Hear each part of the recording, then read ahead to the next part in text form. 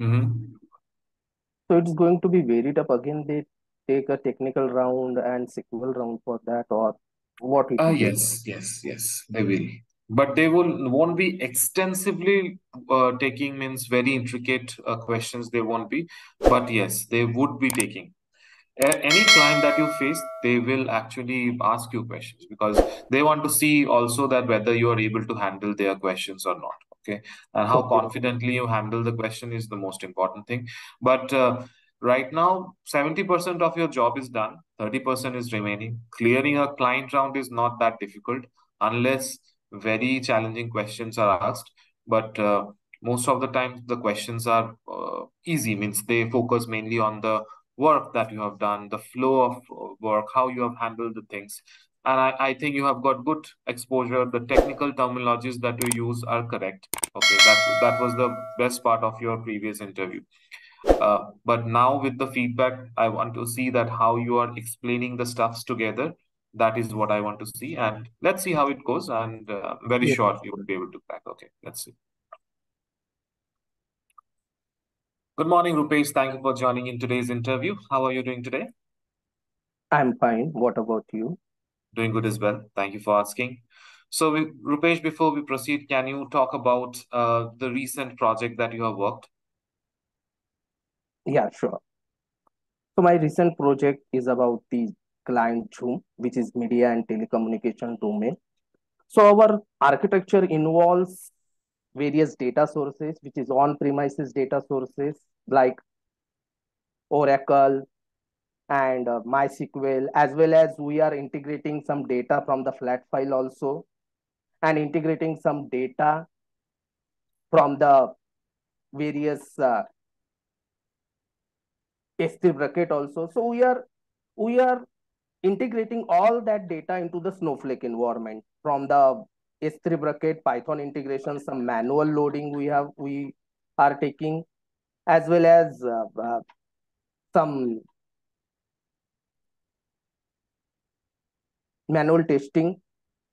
And we are integrating all that data into a Snowflake environment. So we are first created a presentation layer where all the data are ingest, ingested due to the by the ETL team then we are going for the presentation layer and then we are creating some materialized view for our hr data which include some requisition details which include uh, termination details which include headcount details which include the hierarchy for the cost center super organization level so we are created seven to eight tables for that and then we are going for the reporting purpose with the tableau so our data contains it's a complete journey of Zoomi's life cycle. So from the intern up to the exit of the firm, then which are the headcount which is currently present, which is the active headcount that we are showing, then how many hires in the in the Zoom.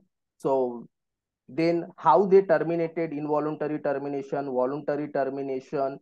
So our dashboard is around these metrics, headcount, hires, termination, and summary.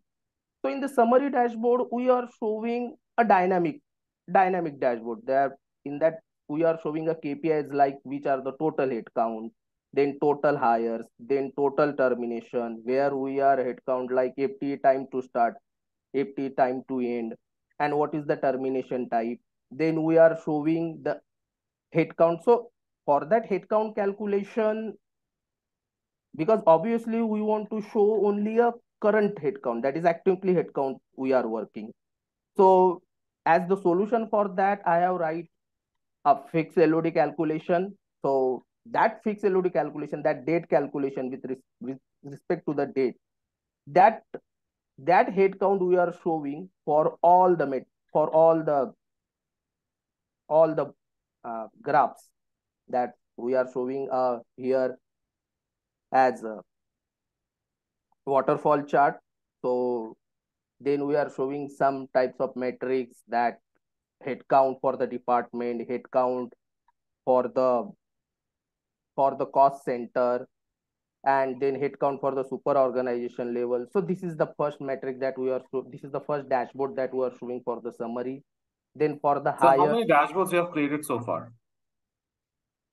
So it's going to be around 65 to 68 dashboard. That's I have made until now. Okay. And uh, uh, what type of connections do you prefer when you are creating dashboards?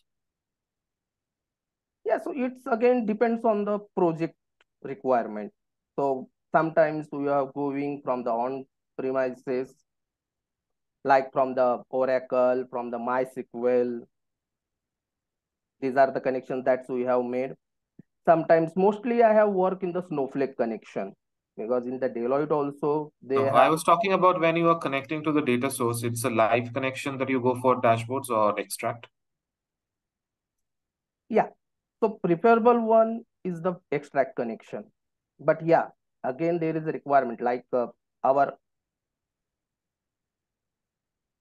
healthcare client. So they want the transaction details at the time, whatever the transaction details they have entering. So if there is a situation like for the live real-time updates they want in their dashboard, then I will go for the live connection. But as for the performance concern, I prepared the extract one.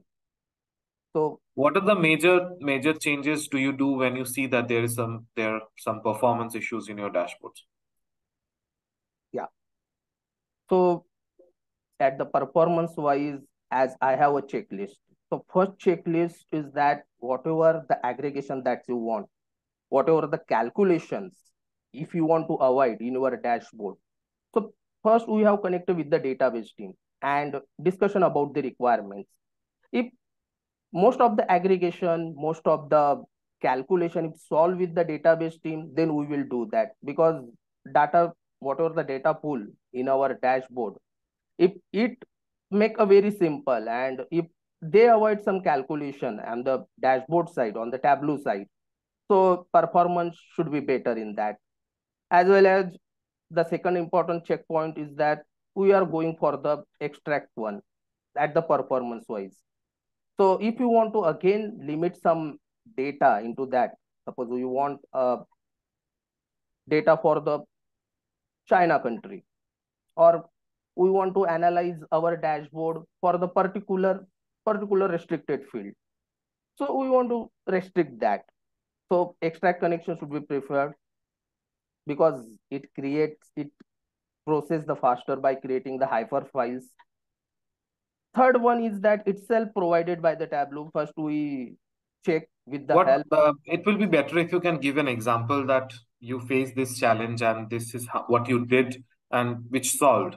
Can you give one example that you have done? Yes, yes, sure. So, uh, recently, what that project I did for the Zoom. So it takes around 40 to 45 seconds for rendering purpose, for loading the dashboard. So as we, as clients comes towards me as a developer and they want the solution, they want hardly takes 10 to 15 seconds for the rendering purpose.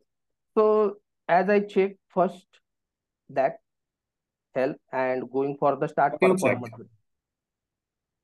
So I check at the Tableau desktop provided a performance recording. So I will performance recording, does it show the time as well? How much load time it is taking? Yes, yes, yes.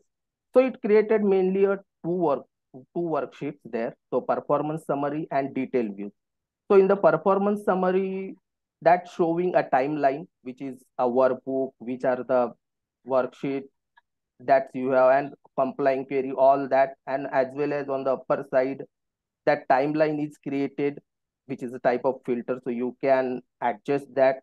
And then it is a query. So you can click on that query. So it, it gives you XML code or SQL code and how much time it will take. And in the detailed views, it create a depth view. So from that depth view, you can see which which one have taken a largest time, which one have taken a more time, as well as they have cre created exclusive some parameters for that. So you can check with the parameters also. So performance summary, performance dashboard that's given by the Tableau. So it gives the overall summary. But that is the first checkpoint. that gives only a clear idea, but you have to need to work on that, whatever the idea given by the Tableau desktop. Again, again, one another thing that Tableau desktop provided is that run optimizer. Now in recent version that they will provide. So in the when we are checking with the that, so it gives which calculation have taken a more time or which are the unhide use or sometimes we are we are forgetting we are created a duplicate duplicate calculated field but we are forgetting that we won't remove it so that need to be taken care of that. So that again and third important checkpoint you have to hide unused fields whatever the fields that you are not using just hide it.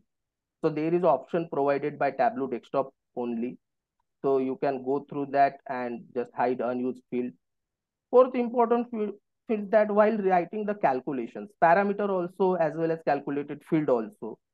So if you use the rather than going for the string, if you use the parameters for the integer, because computer process integers very faster as compared to string. So in our case also, so many, so many parameters are string type and they gives a very more rendering time. So what we did, we reduce some time by giving giving a integer type of parameter.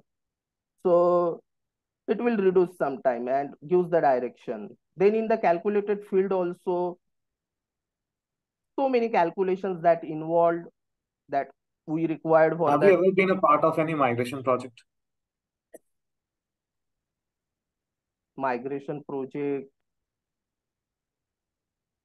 No, I'm not a part of it. You have not been a part of a migration project. Yes.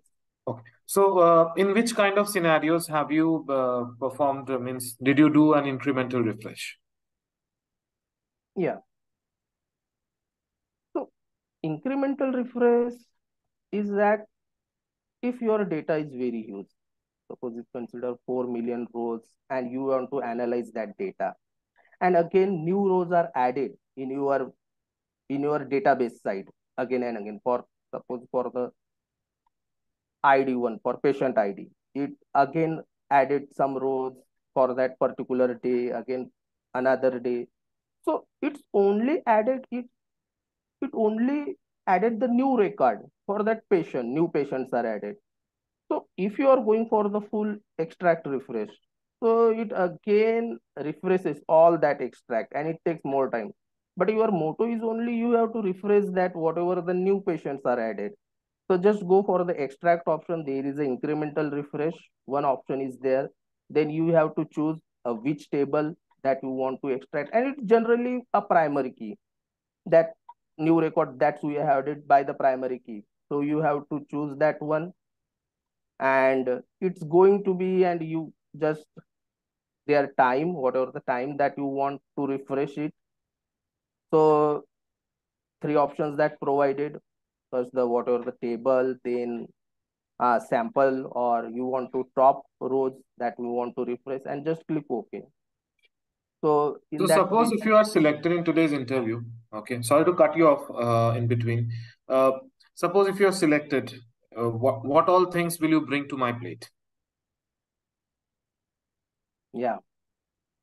So as a Tableau developer, the first thing is that whatever the requirements that you have given to me, I will translate them into the actionable insights. So that dashboard that I will created and whatever the, my knowledge and my experience, whatever I working, that all knowledge and my experience is put for making my work better and uh, and the opportunity to grow up in my career as well as for the company also and gives my 100% to any work so so it will be better for my career also and it and it would be better to grow. And whatever the challenges uh, just dedicated to my work. So suppose in case uh, besides the development work if you are uh, the thing that you are doing suppose if you are involved uh, involved in production support will you be able to do that as well besides your regular work yeah, sure. I will do that. any Have you ever worked work on any production support environment? Do you know what's a production support? yeah sometimes sometimes what are the inbuilt dashboard that dashboard has already made and Mm. we want to give the more updates on that support so we have to take care of deployment activities or we have to take care of some of the minor changes on that dashboard or Deployment activities, as in the dashboards are already deployed, right? What type of activities will happen in there? yeah not about the deployment activity sorry Okay. so what are the new changes in that dashboard? So how do you get production? Have you ever worked on production support environment? no not yet Not yet. Okay, fine. And uh, my final question will be, where do you see yourself in the next five years of time? yeah so as I started my career in Tableau and SQL. So I have to grow up again. My new skills are added. So currently I'm learning the Python also because Python again R, which is our R language that's I want to learn, which is integrated with the Tableau itself. And with the database side, one ETL tool that one ETL tool that I'm currently learning Alteryx Informatica, and as well as for the cloud, cloud is now bloom, booming. So aws that's i want to learn. So it's a overall again yeah i want to learn. Means it's a more very So what are your dream means? Uh, my question, I think you have i not want to understood. become Where a do you see yourself? And uh, after five years also, you want to see that you are still learning, or do you want to achieve a position? yeah i want to become a data scientist You want to become a data scientist. yes Okay, fine. Any questions you might have from me? yeah just want to know now on which domain that you are working and which projects are aligned and just want As to you know know, your expertise on that okay. So basically, we are working on a entirely finance module. As you know, the, we are a bank. So the entire domain will be finance. So all the intricate details of finance module you will have to take care. And in this project, we are looking for someone who would be single-handedly uh, working on all the reports that we have. Okay, it's a migration work that we are we're gonna have. Okay, and we are migrating all our Power BI reports into Tableau. Okay, so and there is a migration of database so that is happening. We are migrating from SQL Server to Snowflake. So we are looking for someone who's good with Snowflake as as well as on Tableau. So yeah, that will be the roles and responsibilities, I guess, uh, that you would be working once you're selected. okay got it Okay. Thank you, Rupesh, very much for your time. Uh, have a wonderful evening ahead. yeah thank you have a nice day Thank you.